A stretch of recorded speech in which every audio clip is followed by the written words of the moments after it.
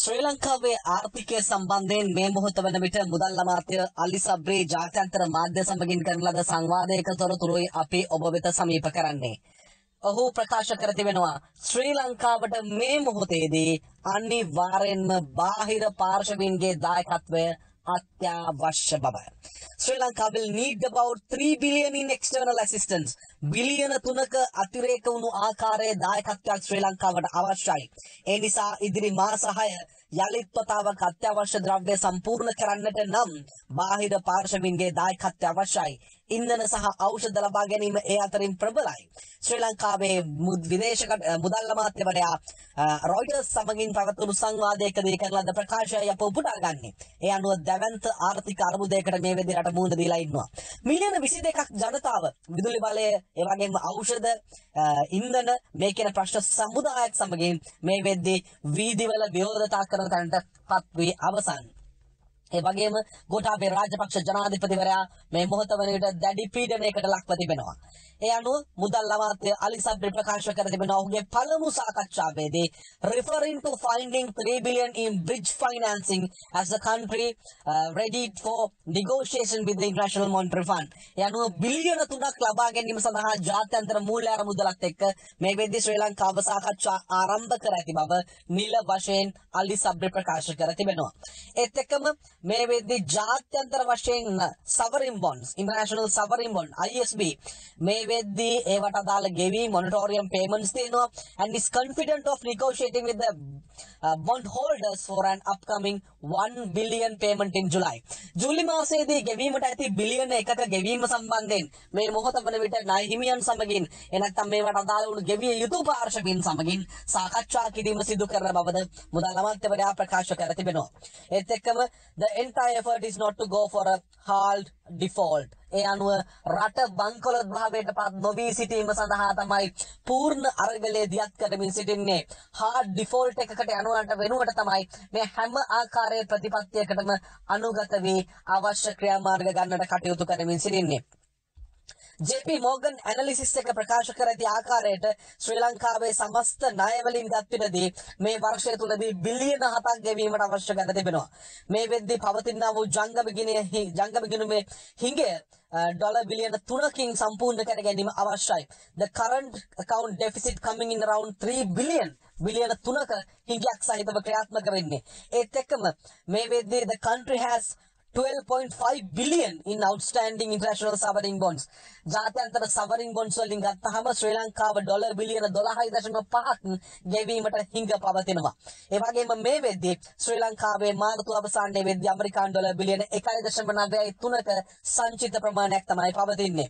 ඒ නිසා පළමු ප්‍රයොරිටි එක දෙන්නට වෙලා තිබෙනවා. ඉන්ධන ගෑස් ඖෂධ අවශ්‍යතාවය සපුරන්න. විදුලි බලයද ඇතුළුව. මේ පවතිනා වූ ජන විරෝධයට ප්‍රතිචාරයක් සමගින්. ඒ වගේම රාජ්‍ය විරෝධී උද්ඝෝෂණ මේ වේදී දිගින් දිගටම වර්ධනය වන නිසා රට තුල ප්‍රචණ්ඩත්වයක් වර්ධනය වීමේ අවධානමක් මේ මොහොත වෙද්දී මතුවලා තිබෙනවා. ඒ වගේම COVID-19 පැන්ඩමික් එකේදී සංචාරක කර්මාන්තයේ ඇති වුණු තත්ත්වය යලිත් වතාවක් අවධානමකට ලක් වෙලා තිබෙනවා. මේ නැගී සිටීම් හමුවේ.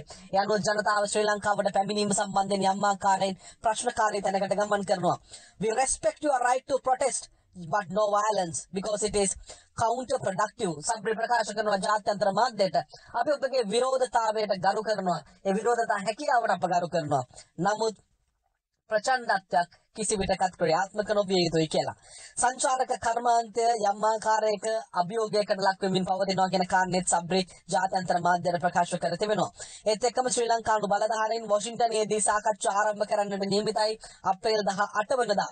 ඒ අනුව මූල්‍ය විශේෂඥයින් සහ නීති විශේෂඥයින් කියන දෙපාර්ශ්වයම ඒකාබද්ධව තමයි මේ සාකච්ඡාව ක්‍රියාත්මක වෙන්නේ 21 days to help the government restructure its international debt. ඒ අනුව ජාත්‍යන්තර ණය යම් ආකාරයකින් ප්‍රතිවිරුහගත කරණය කිරීම සඳහා දින 21ක කාලවකවානුවක් ඇතුළත දෙසියල් අවසන් කර ගැනීමට තමයි බලාපොරොත්තු වන්නේ.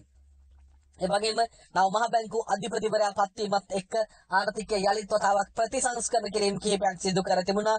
ඒ අනුව ඒ ප්‍රතිසංස්කරණ කිරීම හරහා පොලි අනුපාතවලට බලපෑම් කිරීම තුළින් ආර්ථිකය යළිත් වතාවක් ගොඩ ගැනීමේ බලාපොරොත්තුවක් තමයි තියෙන්නේ.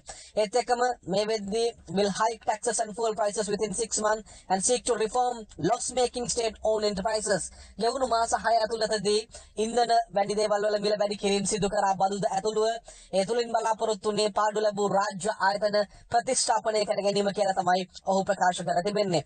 කෙසේ වෙතත් මේ මොහොතේදී ශ්‍රී ලංකාවට තවත් ශ්‍රී ලංකාව will seek another 500 million credit line from India for fuel which would uh, suffice for about 5 weeks of requirements.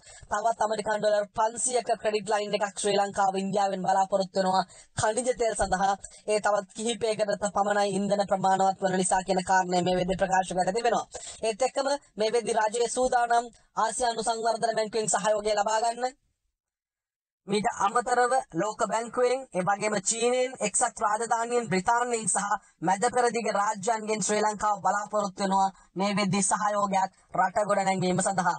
We know where we are. අපි ඉන්න තැන කොතනද කියන එක අපි හොඳින් දන්නවා. ඒ නිසා අපට දැන් අවශ්‍යයි අරගලයක් දියත් කරන්න.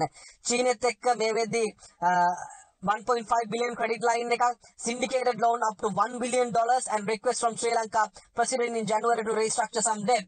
ඒ අනුව ණය ප්‍රතිශීවීමගත කරණය කිරීමකටත් මේ වෙද්දී චීනයෙන් ඉල්ලීම් කර තිබෙනවා. මේ සියලු දේ තුළ චීනය සමගිනුත් සාකච්ඡාව හරහා බලාපොරොත්තු වෙනවා යම් සහනයක් ලබා ගන්නට. ඒත් එක්කම අපි බලාපොරොත්තු වෙනවා ශ්‍රී ලංකාව මේ වෙද්දී පවතින තත්ත්වයත් එක්ක ලෝකයේ අනෙකුත් රටවල් වලිනුත් සහයෝගය ලැබෙවි කියලා. බීජිං සහ නවදිල්ලිය කියන්නේ අපට ඉතාමත් ඉහළ වැදගත්කමක් තිබෙනවා මේ මොහොතේ පවතින තත්ත්වයත් එක්ක. ඉතින් ඉදිරි සති කිහිපය ඇතුළතදී ලංකාවේ ආර්ථික ව්‍යසනයට යම් සුබවාදී ආකාරයේ ප්‍රතිචාරයක් ලබා ගැනීම තමයි අපේ අපේක්ෂාව කියලා තමයි වාර්තා කරන්නේ. අපේ නිෂ්ක්‍රීය නියුට්‍රල් කන්ට්‍රි එකක් මධ්‍යස්ථ රාජ්‍යයක්. we are far friends all. අපි හැමෝම සමගින් ඒකාබද්ධයි. ඒ අනුව මේ පවතින තත්ත්වයත් එක්ක so we think that goodwill will come in handy points in time. යහපත් තැනකට අපට යන්නට පුළුවන් වේවි කියන විශ්වාසයක් අපට තිබෙනවා. දැන් ඔන්න තේරුම් ගන්න අජිත් නිවාන් කබ්‍රාල්ලා ගහපු පම්පෝරි මොනවද? බැසිල් රාජපක්ෂලා ගහපු පම්පෝරි මොනවද කියලා. රොයිටර්ස් එක්ක අලි සබ්රිගේ සංවාදය ඇතුළතදී අපි ස්තුතිවන්ත වෙනවා. අලි සබ්රි විවෘතව මේ ප්‍රශ්න පිළිබඳ කතා කරපු එක අපිට ඇමරිකාවට යන්න වෙනවා අපිට ඉන්දියාවට යන්න වෙනවා අපිට මැද පෙරදිග ජාතිවාදය අවුස්සපු අවස්ථාවන් වලදී මුස්ලිම් ප්‍රජාවගේ විවිධ කාරණා පිළිබඳ ප්‍රකාශ කළා. අරාබි රාජ්‍යයන් පිළිබඳ විවිධ ප්‍රකාශ කළා. හැබැයි අද වෙනකොට අපිට මැද පෙරදිග කලාපයේ සහයෝගය ගන්න සිද්ධ වෙනවා. මේ සියලු දේ බොහොම පැහැදිලිව අලි සබ්රි අද ජාත්‍යන්තර මාධ්‍යයට ප්‍රකාශ කළා. එවන් පරිසරයක් ඇතුළතදී පවතින ඛේදවාචකයේ මේ විදිහට විස්තර කළා. කබ්‍රාල්ලා මාධ්‍ය හමු තියලා කියපු බොරු මිනිස්සු ප්‍රශ්න අහනකොට කියපු කයිවාරු අද එකක්වත් නැහැ. රටේ තත්ත්වය කොච්චර බිහිසුණුද කියන දේ අලි සබ්රි ලෝකෙ ඉදිරියේ කියනවා. මහ බැංකු අධිපතිවරයාත් කිව්වා ලංකාවට වෙලා තියෙන තත්ත්වය. ඉතින් එවන් පරිසරයක් ඇතුළතදී මේක තමයි ඇත්ත කතාව. බිහිසුණු තැනකයි අප සැම මේ මොහොතේ සිටින්නේ.